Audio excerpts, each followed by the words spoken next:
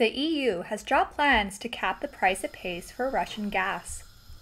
Energy ministers from the bloc met Friday in Brussels. They scrapped plans for the cap after the idea failed to win broad support. Member states in Central and Eastern Europe who still get gas from Russia feared retaliation by Moscow. Russian President Vladimir Putin has said he would cut off supplies altogether if a cap was imposed. However, ministers did agree to claw back revenue from some power producers and will use the money to curb consumer bills. European energy prices are typically set by gas plants. That leaves generators using nuclear, wind, or coal raking in revenue, as their running costs haven't risen as much or at all. On Friday, some EU nations also argued in favor of a general cap on all gas imports.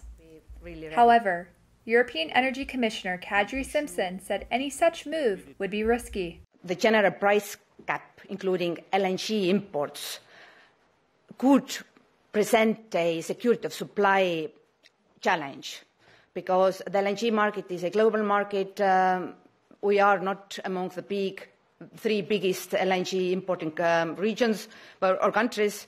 And, and, there is a very strong competition at the LNG market. And, uh, and, right now, it is important that we can replace the decreasing Russian volumes with alternative suppliers.